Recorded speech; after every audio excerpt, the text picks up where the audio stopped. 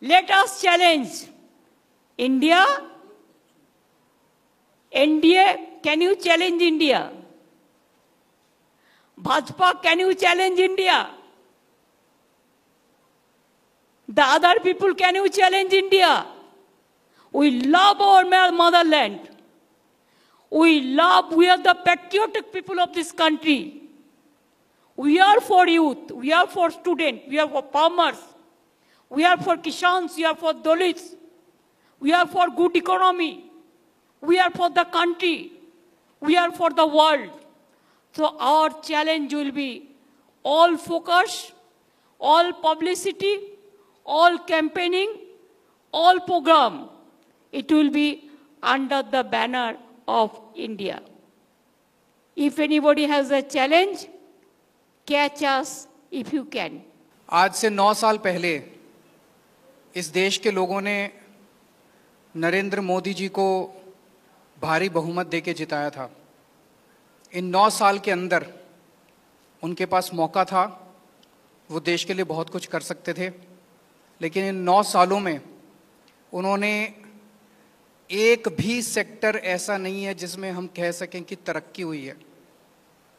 हर sector को बर्बाद करने में उन्होंने कोई कसर नहीं छोड़ी। लड़ाई हमारी नीति के खिलाफ है, तानाशाही के खिलाफ है।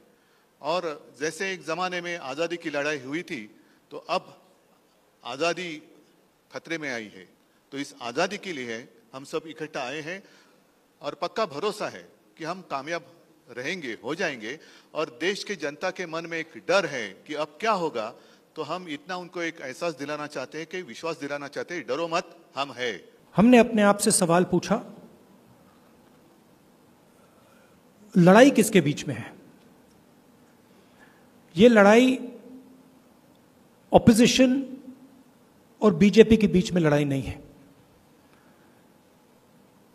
देश की आवाज़ को दबाया और कुचला जा रहा है।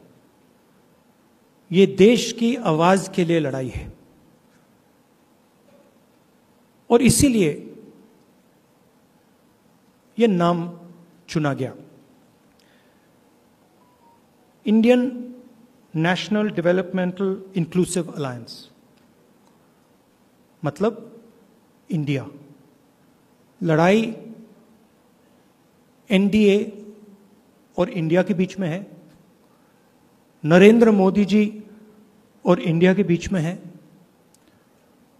उनकी विचारधारा और इंडिया के बीच में है।